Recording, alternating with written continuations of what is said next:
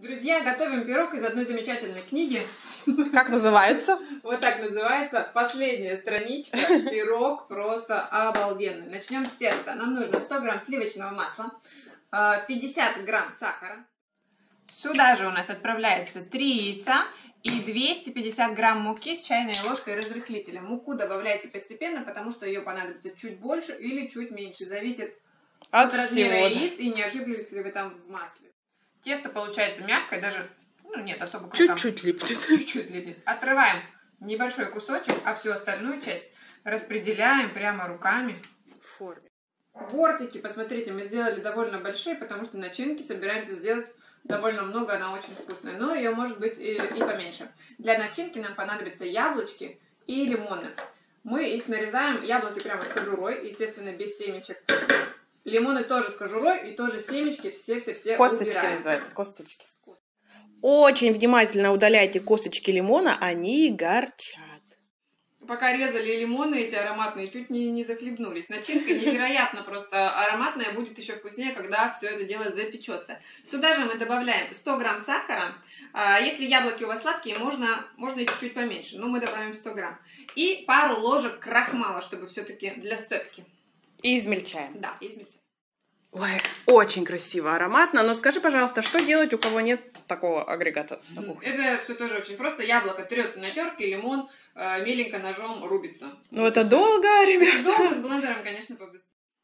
Выкладываем начинку на кош, разравниваем и приступаем к красоте. Из оставшегося теста катаем такие колбаски и занимаемся немножечко украшательством, насколько, ну, в общем-то, можно и не колбасками, можно хоть цветочки вырезать, что угодно. Просто делаем чуть-чуть красивее. Корзиночку. Мы делаем корзинку. Такая красота. Ну вот любой ленивый кулинар справится. Абсолютно любой. Если начинка у вас немножечко э, пожиже за счет сочности яблок и лимонов, ничего страшного, не волнуйтесь, оно в духовке за счет крахмала все равно все схватится. Пирог отправляется в духовку минут на 45 при 180 градусах. Может понадобиться чуть меньше на 3 минутки или чуть больше времени, смотрите по своей духовке. Ну и раз уж мы готовим сегодня рецепт о книге, то о книге вам и расскажу. Книга э, наша, мы ее авторы, и у нас их уже целых две штуки, вот они, собственно говоря, здесь всегда, всегда тут стоят. стоят. Конкретно этот рецепт из второй книжки. Книжки можно найти в любом книжном магазине крупном, таких как Буквоед, Читай город, э, в интернет-магазинах, на Лабиринте, на Озоне, на Wildberries. В общем, везде э, есть. Давай покажем есть, поближе книжки.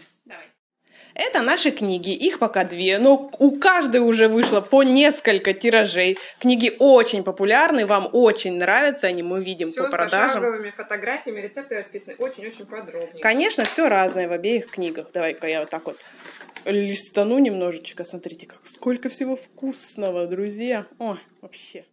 Невозможная красота. Великолепно. Ну, к слову сказать, э, то, что мы яблочки в кожуре почистили, это тоже на ваше Пикантности придает, да. ну, мне нравится. как они, вот эти вкрапления красненькие, очень классно. Но можно и почистить. Давай разрезать.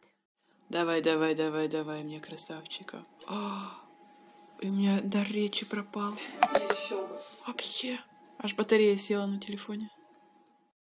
Посмотрите, какой пирог, как, какой слой начинки обалденный, какое тесто. Ой, приятного чаепития нам, а вы бегом скорее готовить.